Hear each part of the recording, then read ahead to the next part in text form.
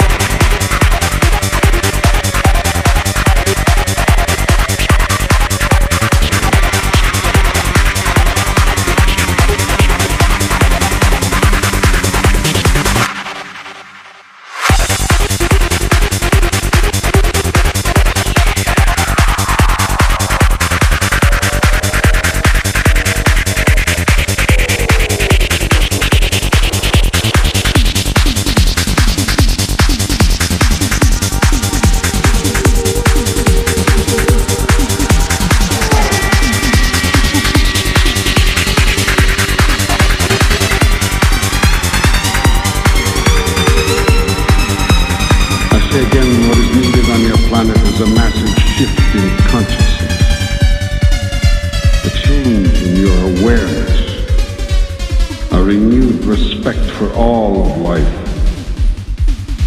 and a deepened understanding of the interrelatedness of everything.